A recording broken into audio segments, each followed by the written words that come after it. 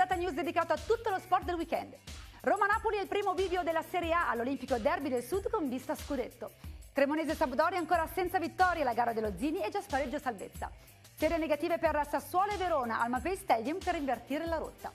E partiamo dalla sfida Mourinho-Spalletti. Quello dell'anno scorso è stato l'unico pareggio nelle ultime 11 gare a Roma tra giallorossi e partenopei. L'approfondimento di Olibet TV propone il Napoli favorito con il 40% di probabilità. Negli ultimi sei precedenti in Serie A, Cremonese e Sampdoria hanno segnato entrambi in una sola circostanza. Su Olibet TV almeno una squadra senza reti è prevista con una probabilità pari al 40%.